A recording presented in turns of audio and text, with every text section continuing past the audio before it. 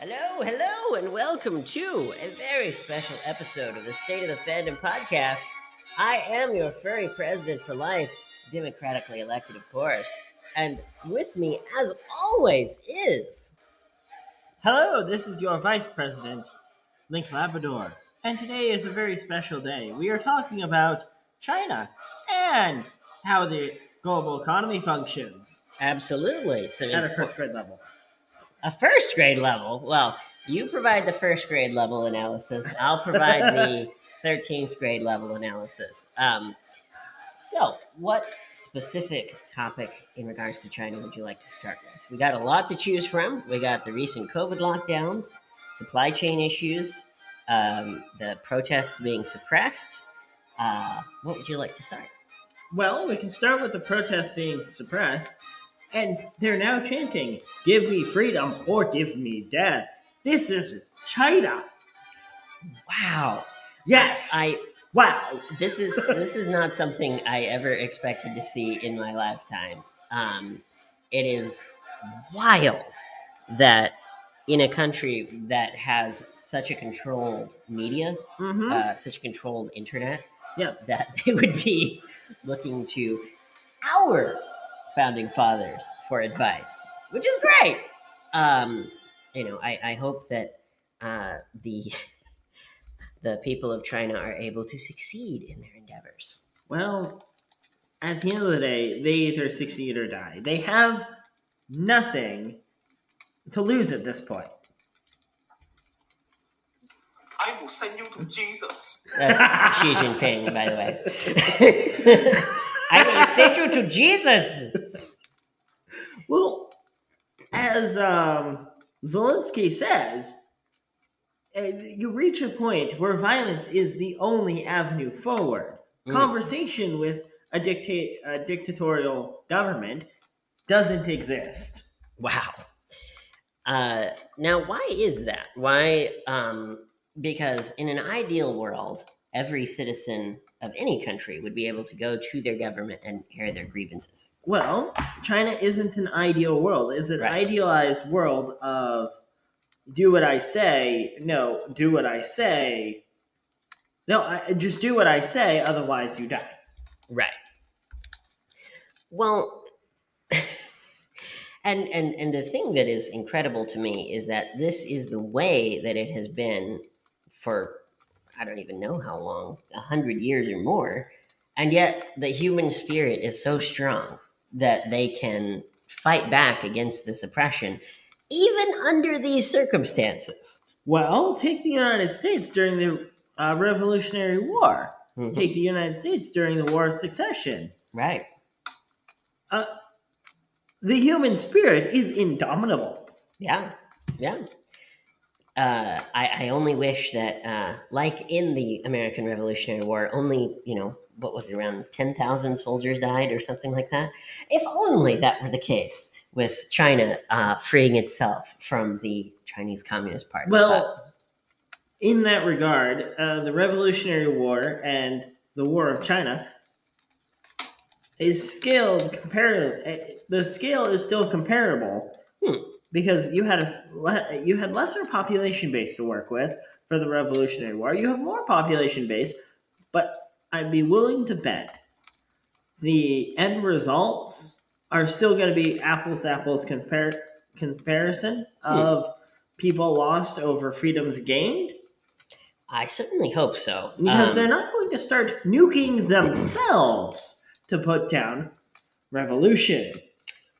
Hopefully. Let's certainly hope that is the case. uh, I can't guarantee it, but let's let's let's hope that that is the case. And after all, as uh, as Liberty Prime would say, Communist detected on American soil. Lethal force engaged. that line. Death is a preferable alternative to communism. there there's the one that I was looking for. Death is a preferable alternative to communism. Yes. well, on the topic of communism itself, communism, communism itself is not inherently evil. Correct. no ism is inherently evil. It's a balancing act. National socialism? Taken to the extremes, everything is evil. Yes. I'm just joking. I'm just joking. Uh, but yeah, it's the um, to, to put it another way, the the extremes of any ideology are detrimental to the ideology itself and to society as a whole. Yes. You know, um, the idea of you know, uh, oh, let's let's create a dictatorship and uh, give all the power to them, and then eventually we won't need them anymore, and we'll have a communist utopia. Well, unsurprisingly, the people in power don't want to give up their power. No. Give up power? Well, and it comes back to the the um, guidelines in rules for rulers, where Mhm. um, the the people who tried to make communism, uh, tried to make a communist utopia work in Russia, China, etc. Unfortunately, uh, they did not use the principles from rules for rulers of distribute the power uh, where you are you are accountable to many many people. Uh, if you're only accountable to you know a couple dozen members of the top of the Kremlin, then all you have to do is keep them happy, and you'll retain your power. Uh huh. Um, you know, democracy is not some kind of magic solution. It's just the people in a democracy who are in power are uh, they have to to retain their power. They have to be accountable to the people. Now, unfortunately, unfortunately, we have um, you know many many people in the uh, in the current political system who are avoiding the responsibility they have to be accountable to the people. Well, that's the thing. At some point, the at some point the system breaks down. Mission failed. We'll get them next time. Yes. Mission failed. well, that's the thing. You wind up with a failed state when the people at the very top are no longer accountable to anyone but the people around themselves. right. It's one of the failings that we have in the United States right now is we need a radical shift in accountability and responsibility Yes. which everyone's arguing about this this law and that law, this law, that law. What about policy? Let's look at is, pol- that is what policy is. Policy is laws and regulation. yes, but we're fu- we're fussing about the wrong issues Interesting. as a whole. I Is the right is the right to uh, housing part of the debate right now? no, not even close. Uh, the other question is, how the hell are we going to power 300 million new electric cars? How is that going to work? Uh, the people in charge are forcing the people to buy electric cars in the future. You know, oh, in 2035, you'll only be able to buy an electric car. But they have no plan, none, to be able to provide enough electricity with renewable sources so that we can meet the uh, the climate targets of less than two degrees warming. Uh, they they don't have a solution. Well, is it worth going bank? Is it worth bankrupting the country and bankrupting the fucking world to change the climate by two fucking degrees? Uh, At that point, Yes, and let me tell you why. So, uh, this is this is something that a lot of people don't understand, and it, you may or may not have heard this argument before. So let me know if you have. Uh, so when they say a global target of two degrees, that is for the entire globe. That includes the oceans, that includes the polar caps, etc mm-hmm. the temperature on land fluctuates by a large amount. You know, it could be, you know, negative 20 in the northern areas in the winter, and it could be positive 120 in Arkansas or Florida or Mexico or whatever in the summer. Yeah. So, uh, because the temperature fluctuates more on land, a two degree difference in total would have a much bigger effect on land areas. And in particular, unfortunately, it would have a uh, particularly strong effect on poor areas of the world. So, just as a simple example, there are hundreds of millions of people who live in sub Saharan Africa. And as right now, the African desert, the Sahara Desert, is growing in size. And so many, many, many millions of people will suffer if um, if we don't stop the warming from happening so that the desert continues to grow in size. Well, I mean, imagine imagine the difference between living in a grassland versus living in a desert. Like that's, that's a pretty big difference. well, that's the thing. As stewards of this planet, we need to all be responsible. Mhm. But responsibility not just for our neighbors, not just for the people down the street, but we have to do what's right for our nation and our country. absolutely, If China keeps wanting to fuck up the world, how the hell are we going to compete with China? right, right. We can't. Plain and simple. Hold With on. the- well, let me finish. okay. We can't compete with China right now due to our own lack of vision, due to our own lack of understanding, due to individuals vying for power over wishing and promising. Oh, I promise that we'll make sure everyone has an electric car. How the fuck are we how are we going to make sure that happens? Short answer, they don't have an answer. Long answer, they don't fucking care. They'd Correct. rather bankrupt the country, bankrupt the world for their own goddamn for their own goddamn political influence and political power. That's why we should stand up to these idiots. Stand up to these fuckers and say, no more. Without a plan, we're not following your fucking asses off a cliff. We're no longer sheep. Right. If we bankrupt the country, guess what? They have no power, but they still have power. They have all the guns, they have all the military until the military turns on them.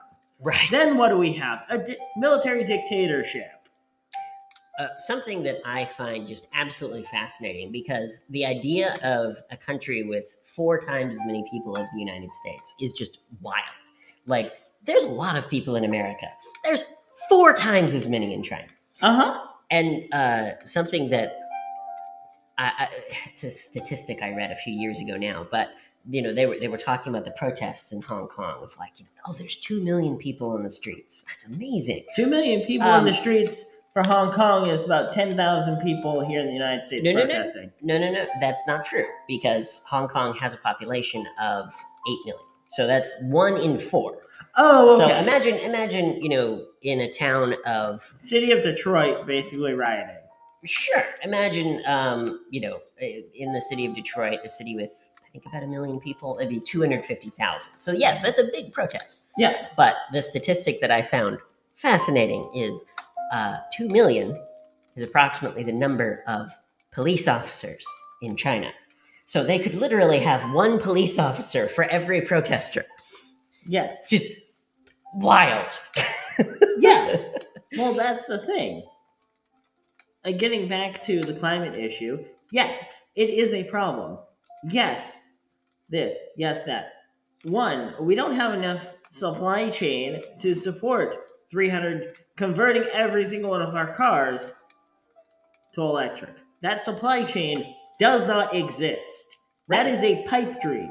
Here's how you, here's how you would have to do it. You would have to turn every single goddamn town and every single goddamn neighborhood into its own fucking power bank Mhm. for you to even come close, close to uh, this idea. It'd be cheaper and easier to reinforce the entirety of the electrical grid. Well, that will have to be done. Uh, let, let me add to your point, okay? Yep. so obviously uh, I- oh for any for anyone who's uh, who's not heard some of our previous shows um, so the reason why we're talking about uh, electrification of cars is because uh, california has passed a law that says after 2035 no uh, combustion internal combustion engines will be able to be sold in the state for like regular cars obviously there'll still be like farm equipment and stuff but other than that other than special cases you won't you won't be able to buy a car that is not an electric car. Well, in that case, our next car is going to be diesel. Well, Ne- there's gonna never gonna run out of fry oil. Uh, guys, if we honestly want to replace the elect- uh, the combustion engine, why don't we invest? It'd be cheaper to invest money, energy, and resources into the diesel electric cars, hmm and that technology could be improved immensely. Oh, sure. It would be cheaper on everyone. It would be cheaper on the planet. By the way, the planet's debating about rebelling at this point. I swear, good God, Mother Earth, please don't fucking end me. I'm trying to help. Right? We're trying at the very least. That's true.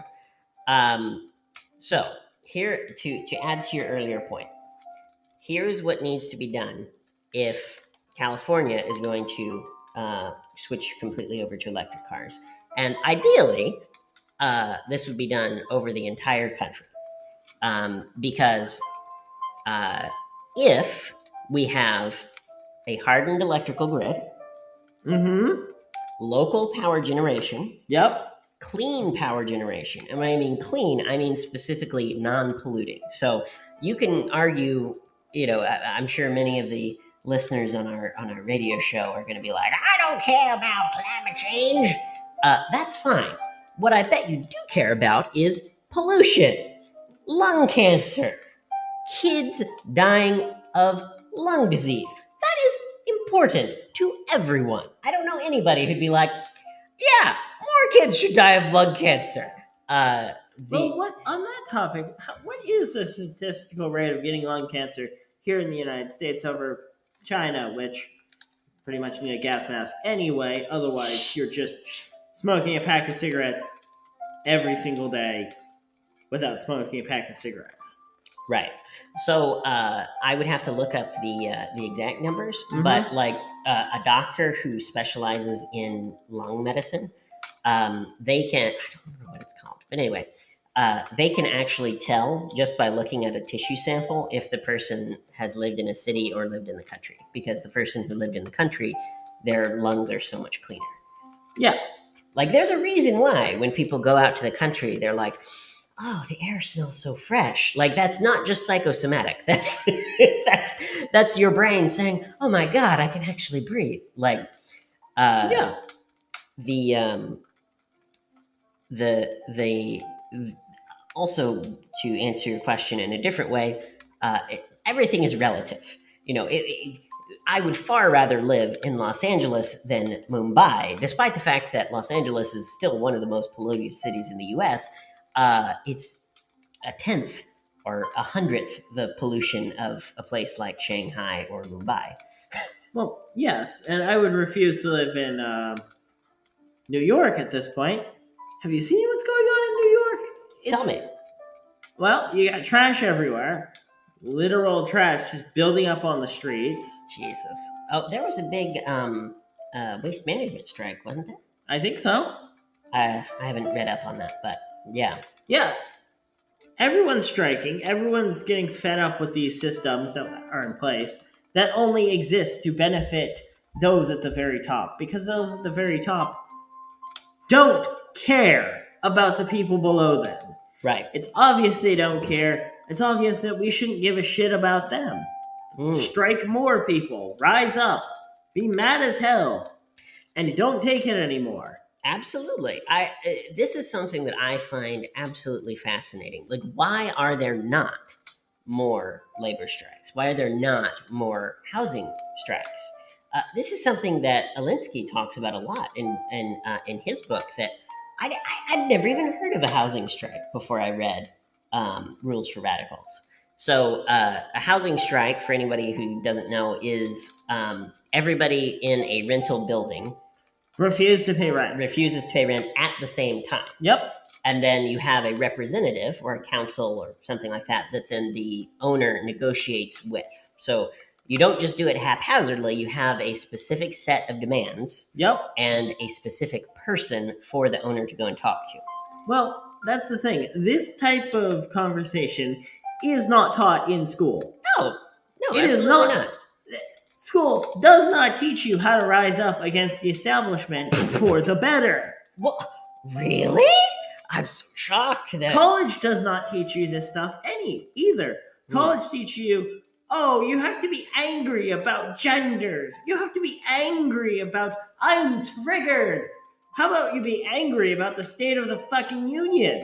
How about you Right. ask questions? Stand up for yourself. Educate yourself. Well, and to be fair, to be fair to any of our listeners who you know have a uh, non-standard gender, uh, we're not attacking those people. We're just saying that there are important issues in the world that are not being addressed at all. Correct. There, there are hundreds of thousands, hundreds of thousands of homeless people in the United States. That is criminal, in my opinion. That, that- Uh-huh. that is that is unconscionable that we would have a country with you know billionaires, a country with um, you know uh, uh, just one company, Walmart, makes five hundred billion dollars a year, and yet every time I go to Walmart, there's some homeless bum in the parking lot. Like Uh huh.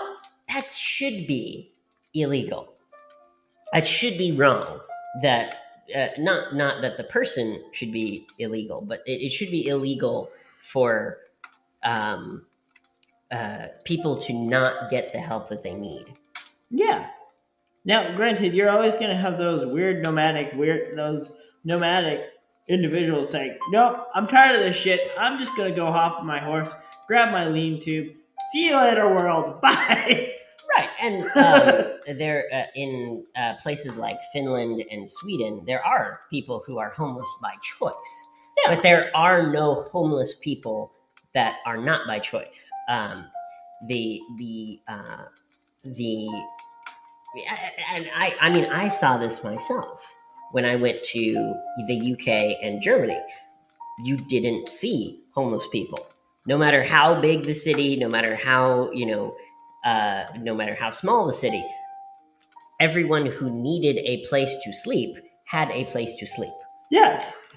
Uh, and the city was very calm and nice as a result. There wasn't trash everywhere. There weren't people, you know, begging you for money or whatever. Like, it makes the experience for tourism better, Well, that's the and thing. These, it makes the experience for the individuals much better.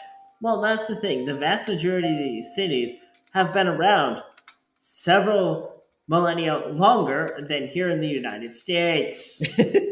So Wow. they've had time to figure this shit out. hmm Right. so to get back to our uh, our topic of China and the supply chain, Yes.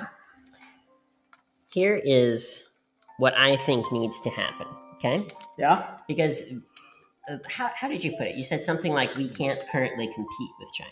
No, we just can't. So uh, we've we've talked about some of the solutions that we have. Yep. but what are, what are some of the obstacles so like if if there was going to be some type of big campaign today Yep. what would be some of the obstacles that would keep it from happening Well, here's why we can't. To put your question another way, here's why we can't compete with China. Mhm. One, our corporations like to bow down to China. true Two, the country's morality doesn't exist. We're all busy fighting each other over nothing. Mhm. Three, we do not have a 10 year plan. Mhm. We just want to, oh, we, oh, we- we're worried about China and them taking over Taiwan and taking all the, um, taking over the manufacturing plants in Taiwan. What are we going to do about it? Well, we're going to put a new plant in Ohio and we're going to invest billions of dollars. Mhm. Why didn't we do that 10 fucking years ago? right well the the reason why uh, there is so little forward thinking in the united states and so much forward thinking in china is because as we've discussed before china has these five year plans 10 year plans 100 year plans Uh huh. they are consciously thinking about, you know, what will we need in 100 years? In the year, you know, 21, 22, what are we going to need? Oh, highways in Africa, very helpful to us in terms of economic growth over the next hundred years. So why not invest 10 billion or whatever it is to Uh-huh. update the roads in these places where we now have, we being China in this case, Yep. have factories to produce stuff for the Chinese market. It's it's very funny. You have China is the manufacturer for a lot of other countries, and then Africa and Bangladesh are now becoming the manufacturers for the Chinese market. Yeah. Well, uh, we have gone for close to 30 minutes, so let's take a quick ad break and we will be right back. Yep. Hello, my friends. Are you in need of some software to help you run your pirate crew? Perhaps you are drop shipping or you are running a team of software developers and having trouble figuring out how to make everything run smoothly. Well, you can try our sponsor, Monday.com. Yes, Monday.com, where we go for all of our needs. Yes, all of our needs. Uh, you can check the episode description for a link that will uh, take you to Monday.com where you can learn about what they do. Uh, basically, it is a way to organize all the different parts of your business, including things like software development, marketing, uh, sales, and human resources. Uh, they've been used by places like HubSpot, the NHL, and Hulu. How Yeah. exciting! Well, I've tried other I've tried other software before. What makes this one different? Uh, what makes it different is that it is built from the ground up to be simple and to fit the exact needs of a small business. So, as somebody who's run a small business for a long time, oftentimes you'll have a solution that is either for a business that is smaller than yours with one person or bigger than yours with a hundred people. Uh, you know, a, a solution that is for a hundred people is not going to work very well for a small business. So, uh, if you are interested in uh, checking it out, you can go to monday.com and make sure to use the referral link in our episode description.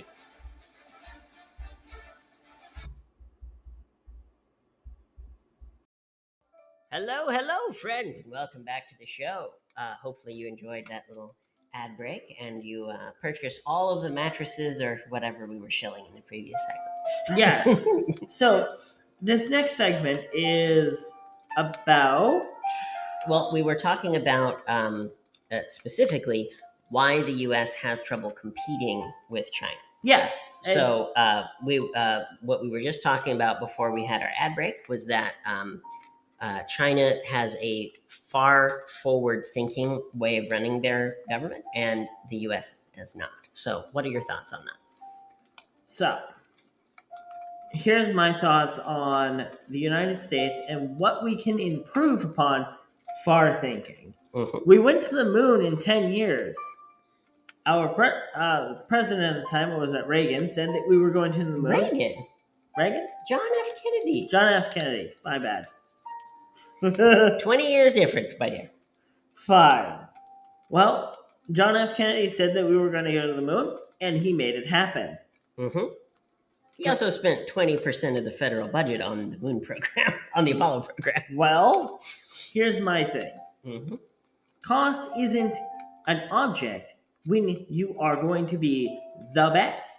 Right. You, if you want to become the best, just uh, if you want to be the best, don't worry about the cost Interesting. because there's a principle in business. You can either have it cheap, you can have it good, or you can have it fast. Right. If you want it good and fast, it's going to be cheap. If you want it If you want it good and fast, it's not going to be cheap. what Good. you say. Yeah, if you want it good and fast, it's not going to be cheap. Right. It's going to be cheap and fast. It's not going to be good. Right. And so uh, here, here is how I think that the U.S. can um, better compete with China. So one of the uh, policy proposals that I have for when we run for the presidency is a new department.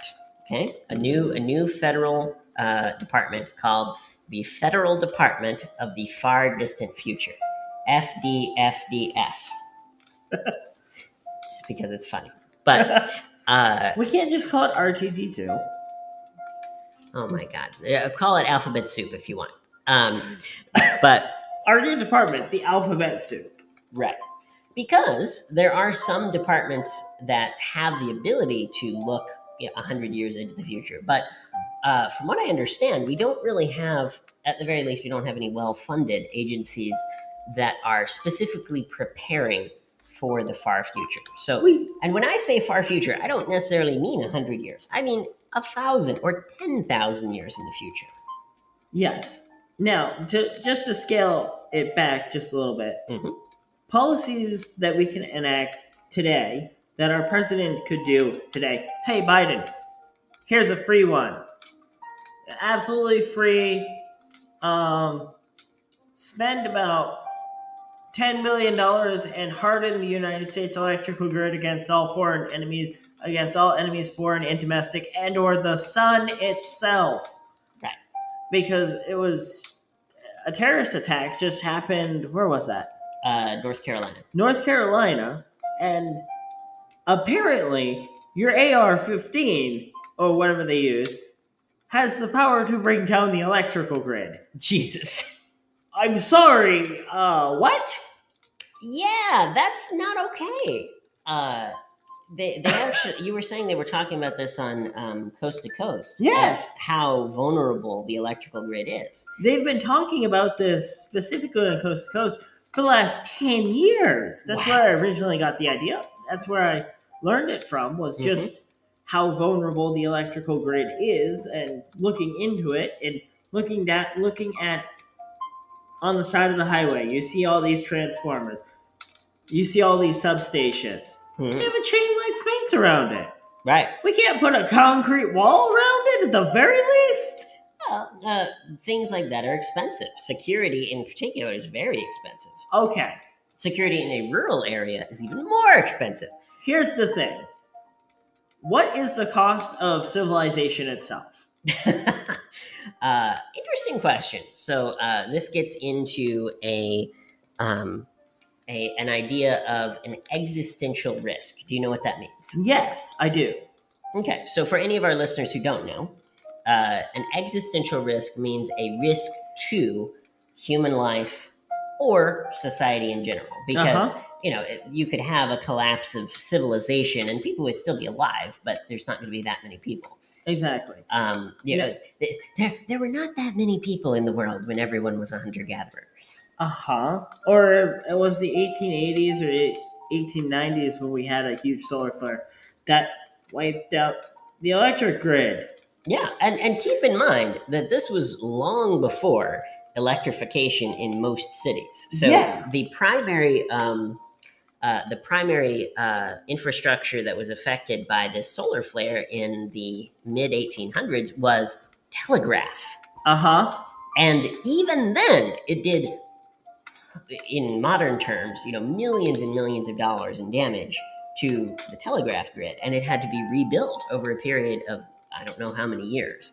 Uh, and the idea, uh, let's just paint a picture for the viewers, okay? Uh huh.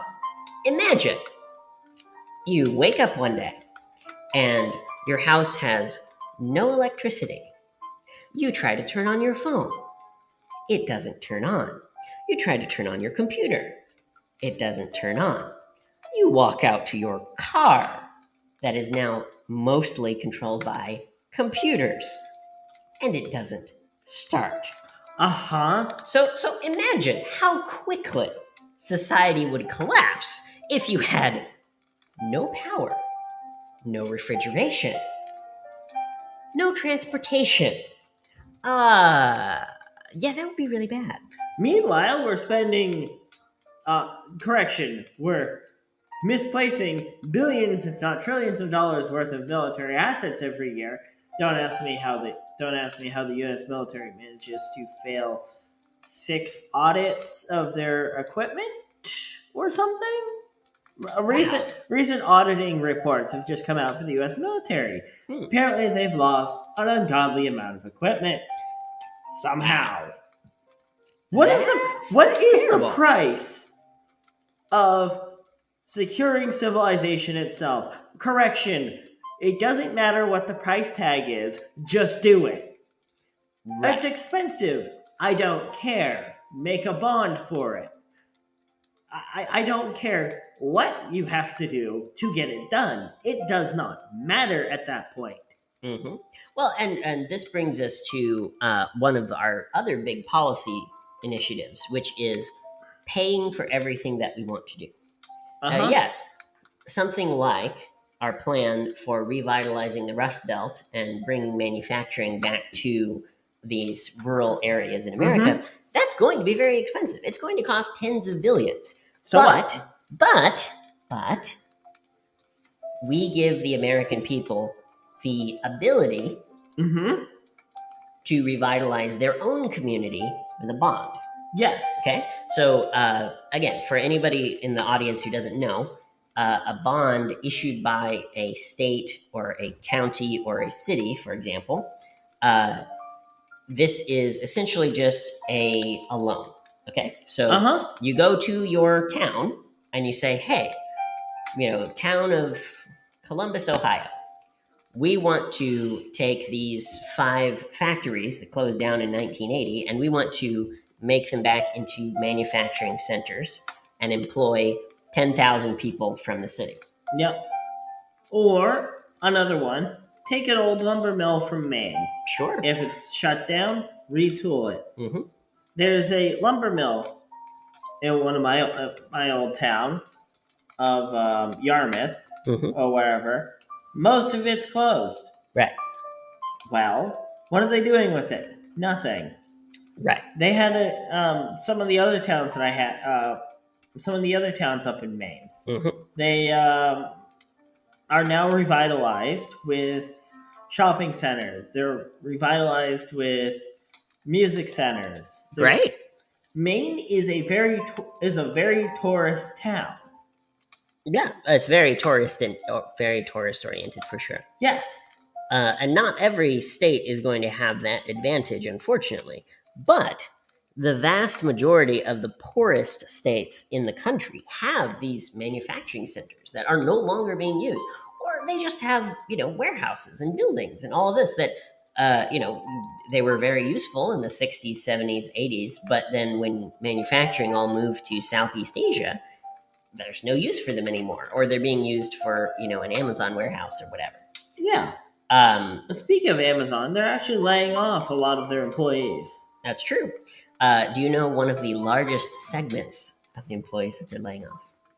Warehouse workers? They are laying off their support staff because, as Amazon and several other countries are wont to do, uh, what they did was they hired, uh, I don't know exactly how many, but several thousand people to go out and recruit workers. Okay? Mm-hmm. and then they took all of that data from you know these people working for Amazon for 10 years and they created an automated system to do their job. That makes sense. So now Amazon's hiring practices are even more robotic and uh, controlled by algorithm. Of course. So if you want to get so if you want to get hired by Amazon, just use a robot to write your resume that uses their algorithms and their language, and you'll get hired no problem. Well, yeah, it's it's not difficult to get a job at Amazon. It's just very difficult. It's very tough on your body because you're running around a giant warehouse. Yeah. Um, and unfortunately, uh, Amazon is uh, facing a huge labor shortage. And instead of improving the conditions of their labor force, they're just saying, well, you know, we'll just make it all robots instead. I it's, mean, it's very sad. I mean, Amazon is no different than the Rockefellers of the day. hmm No different. Right? Hell, the Rockefellers, what made them, you know, so powerful was they owned the supply chain. Basically, they owned everything down to the farm that the farmer tilled his field and got the corn from. hmm Well, and this is a uh, an aspect that Amazon is using to great effect. Of um, so here's what they do. Okay. Yep. uh, a let's say somebody like you and I start selling a specific product on Amazon. So let's say we start selling a uh, desk chair. Yep. Now, this, for whatever reason, this is a new type of desk chair, different to what Amazon sells uh, Already. already. Right. This one gives back massages and, Sucks your dick. Sure. and um, uh, radio. Radio. Oh, right. Uh, sucks your weenus. Yes. No. It's a joke. It's a joke. Uh, so anyway, um, the uh, what Amazon will do is they have an internal algorithm and staff to analyze lots of different products, and if a product does really well on Amazon, they will make their own generic version of that product. So you know all these Amazon Basics products that you see now of you know USB cords or batteries or whatever. There used to be people on Amazon doing really well selling, you know, their own brand of batteries. But now Amazon is like 90% of the market. Yeah, because Amazon just takes over and goes, oh, we can do that for cheaper and easier because we have all the money and all the power. hmm Instead of 30%, which we get from our sellers, We get a hundred let's get percent. 100%. Right. Yeah. So, again, Am- Amazon is a monopoly on the economy.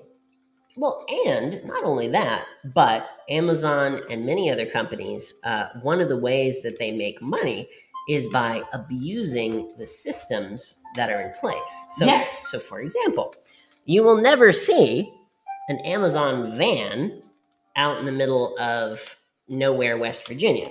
Uh huh. Do you know? Do you know?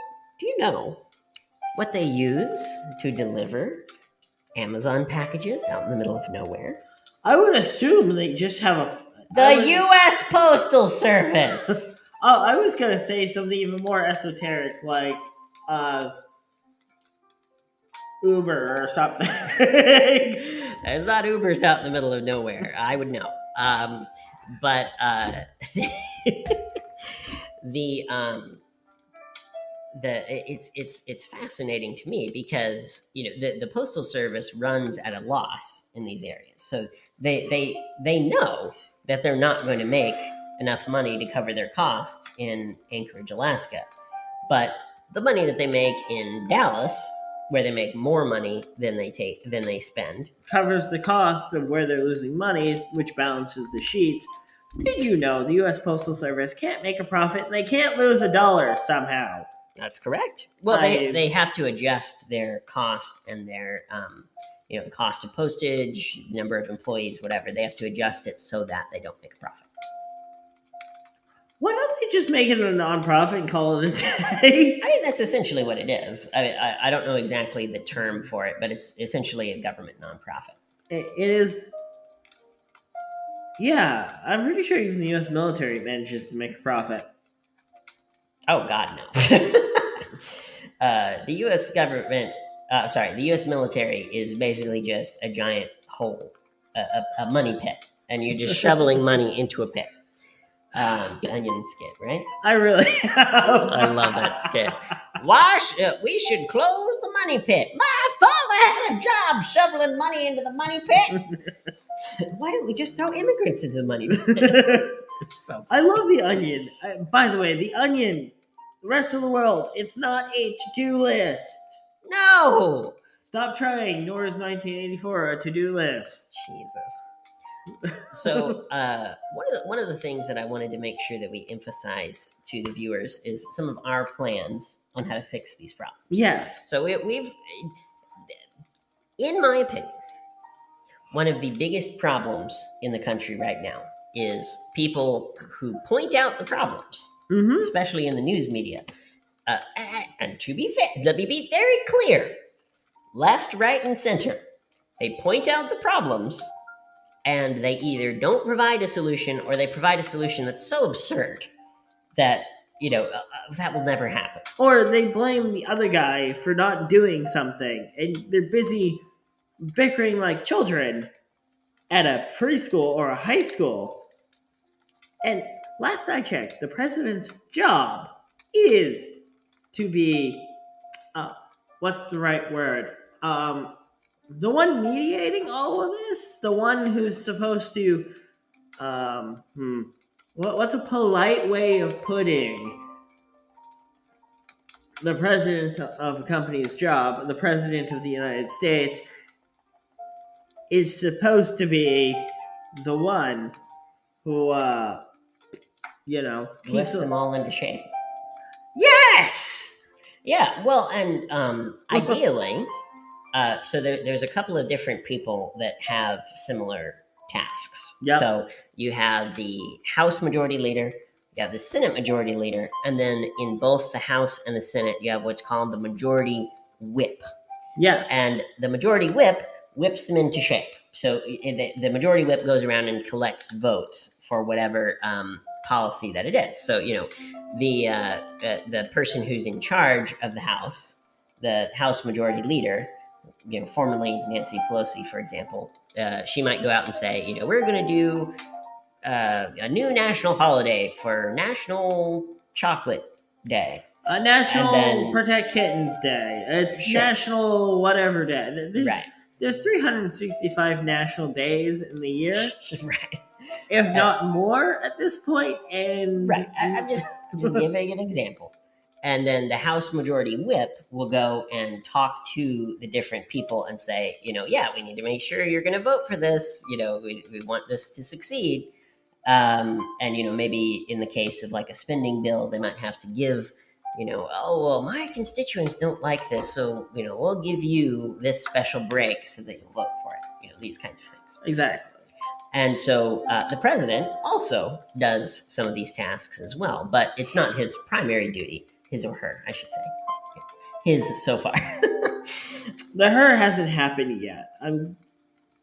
Mm. It should happen at some point. well, we'll we'll have we'll have a, a charismatic um, female politician come along who uh, bulldozes the competition. Just this hasn't happened yet. Uh, so, like I said, one of the biggest problems is people pointing out the problems and not actually having any way to solve them. So, step one, in my opinion, uh, or uh, not even in my opinion, this is this is uh, my policy proposal. Like I said, and I encourage our listeners to reach out to us and critique it because I want it. I, I I am always open to constructive criticism. I'm always looking to improve my ideas so that when we do have power, when we do have um, the ability to put it into action, that it goes as smoothly as possible. I have an idea. What if we take some of our policy proposal ideas and go to some of the Reddit boards that talk about politics Sure. and just have them rip it apart? I'm sure they would. I'm sure they would. Uh, that's a good idea. Uh, in fact, uh, we should, um, when we do an episode like this where we're talking about a policy proposal, we should uh, we should post the episode on there and see what they think, or the episode transcript, for example. Yeah. Uh, that's a good idea. So, step one for um, uh, we'll we'll uh, we'll uh, we're talking specifically today about China and the supply chain. So we'll Yes. Uh, we'll take electric cars as our example, Yep. but this applies to lots of different products.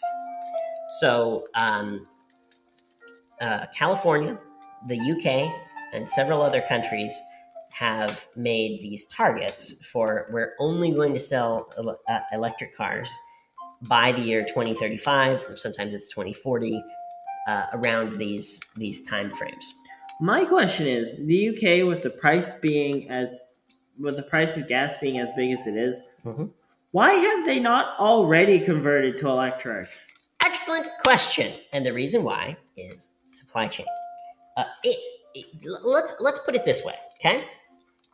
Obviously, electric cars are better, not just for people, but for the planet and pollution. There, there, there, there is no contest because you know. Let's let's say hypothetically that you have exactly the same amount of pollution from a car as making the same amount of electricity from a power plant. The fact that the pollution is being created, you know, especially particulate pollution, so the little pieces of coal and dust in the atmosphere, the fact that that is happening out in the middle of nowhere with the power plant means that uh, fewer people will have issues with lung cancer and um, asthma, heart disease, etc.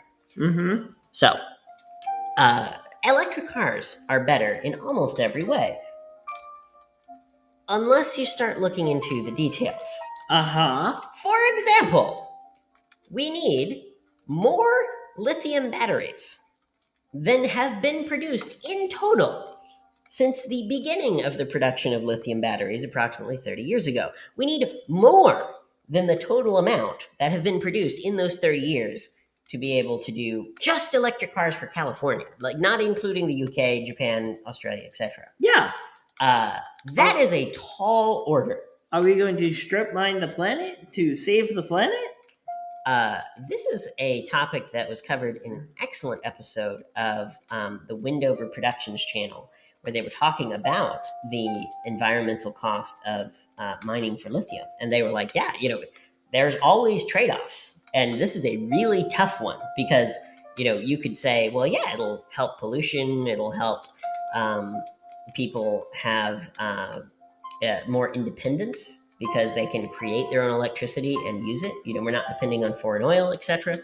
Uh, but in the places where lithium is mined, there is a huge issue with uh, groundwater contamination Uh-huh. and a huge issue of uh, the local population of whatever um, uh, country or town or whatever that it's in Yep. uh, a huge issue of exploitation of the local population for labor and uh, sex abuse.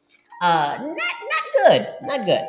No. Now, a way around all that would be mining asteroids for lithium, but we haven't become a type 1 civilization yet. We're working on it, okay? I, I, I, I'm still trying to get to telling you my plan. and uh, uh, for any listeners who don't know, a, a type 1 civilization is a civilization that uses uh, the equivalent of all of the solar energy that hits their planet. Well, that's a classical way of thinking of type 1 civilization. Okay, is there a new way? Well, there's several ways that you can get there. Either you can utilize all the solar energy, which means Dyson sphere, or you have that fractional in between the two of being able to get to the star, get get have per, uh, permanent outpost on the moon and other planets as well. Now, now hold on, hold on, hold on. You you have a, a, a little bit of trouble with the definition here. Okay, type one civilization is the equivalent of all of the solar energy. So if you're producing energy through nuclear power, for Mhm. example, and it's the equivalent of the solar energy, then that's still a type one civilization. It's the amount of energy. Now, Yes. when you mentioned a Dyson sphere, that's a type two civilization. A type 2 civilization is a civilization that can use the equivalent of all of the energy produced by their uh, solar system's star. Well, at that point, you're just building a Dyson swarm that would be more efficient, and you'd be having permanent bases on the moon, and then you'd be launching the satellites from the moon to orbit around the sun, hmm basically. Right. Uh, but yes, uh, unfortunately, that is something that will probably not happen for several hundred years at minimum. So, again, before we run out of time, I would like to tell you my policy proposal so that we have Yes. it on the podcast. Yep. Okay. So, step one is to. oh, excuse me. Step one is to um, create this department. So, the, the federal department of the far distant future to create the plans to achieve the goals that we want to achieve. So, in this case, the goal is all electric cars and to make an environment where that is feasible. Because if you know it, it's no good to give people electric cars and then have you know brownouts because what are you going to do? You're not able to drive to work? Like that'd be a huge amount of economic loss. Mm-hmm. so to make that happen you need a stable electrical grid. So you have to uh, harden the electrical grid against attack Yep. Step two, you need local energy generation and storage. So, um, one of the things that you were talking about uh, earlier in the episode is uh, towns being able to produce and store their energy locally. And interestingly enough, uh, there are actually several proposals that would use the batteries in the electric cars as the storage system for their neighborhood. So then that way, you you might have to have some extra like backup batteries, but the majority of the power that's needed can be stored in the cars themselves. So, for example, let's say that um, you know you drive to work, your car charges in the car park over the course of the day. So when you drive home, it's still relatively full. Uh, some of the energy, you know, maybe 10%, for example, might be used by the community, drained out of the battery to, to you know, do heating and lighting at night, for example. And again, just one of many possibilities that are that are uh, being worked on. Yes.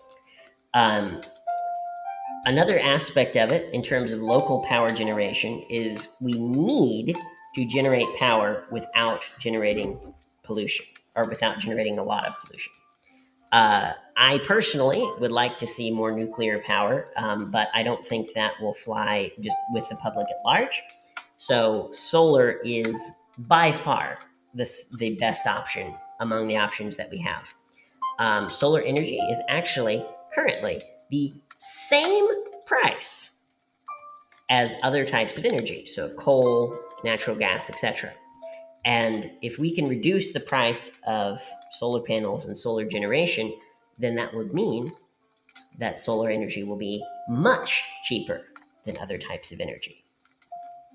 And uh, we are getting close to our 30 minute mark for recording on the computer, so we will take a quick break. Yes. Our uh, program today is brought to you by one of our sponsors, ExpressVPN. Do you know what a VPN is?